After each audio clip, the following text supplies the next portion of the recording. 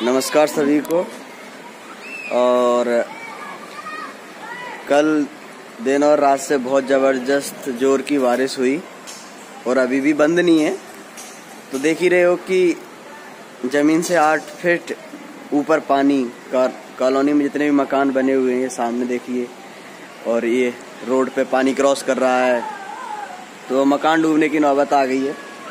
और बच्चे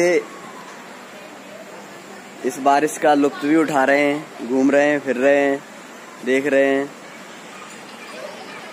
तो ये हमारी ज़िंदगी की इतनी भीषण बारिश होगी, पहली बार देखी, मैंने बारिश देखी, लेकिन इतनी खतरनाक बारिश नहीं देखी।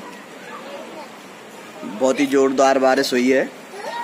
और ये बिन बादल बारिश, बिन मौसम बारिश बोलते हैं जिसको। मुझे तो ऐसा लग रहा है कि जैसे पूरी सीज़न भर की बारिश एक ही दिन हो गई। ये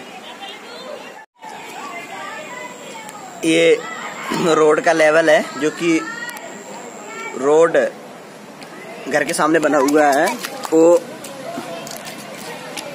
ज़मीन से पाँच फीट हाइट पर ही है रोड। ये जो फाउंडेशन है, मकानों की फाउंडेशन आठ आठ फीट है ज़मीन से, वो सारी डूब रखी है।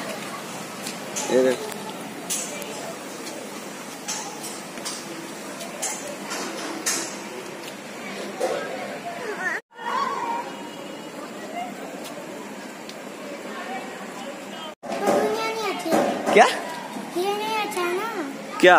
ये जो हो रहा है। ये क्या हो रहा है? हैं?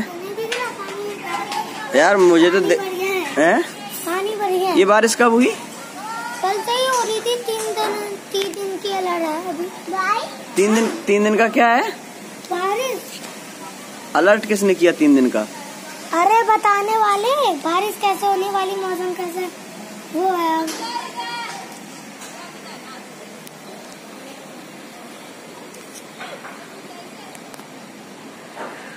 ये नन्हे मुन्ने बच्चे बारिश का लुप्त उठाते हुए। ये देखिए आप देख ही रहे हैं।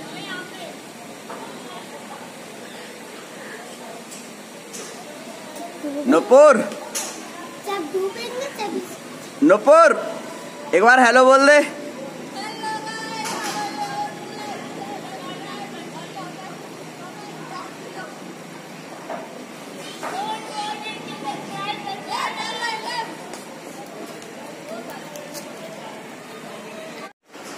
ये आयुष महाशय हैं घर से बारिश का मुआयना करने के लिए आखिर निकल ही पड़े हैं। अ, जै- कैसे निकलने दिया माने आयुष?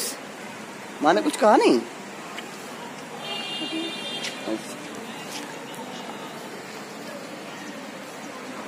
तो आयुष फिर इस बारिश के बारे में कुछ कहोगे आप? अभी अभी तो कहा था। फिर से बोलो एक बार क्या कहा था आपने? सुनाई नहीं दिया। पहले सुन लेते मैं जो बोलता हूँ पहले वो बाद में नहीं बोलता। क्या बोलते हो आप? पहले जो तुम बाद में नहीं बोलते, एक बार दोबारा से रिपीट कर दो। झाड़ू लेके नहीं आए?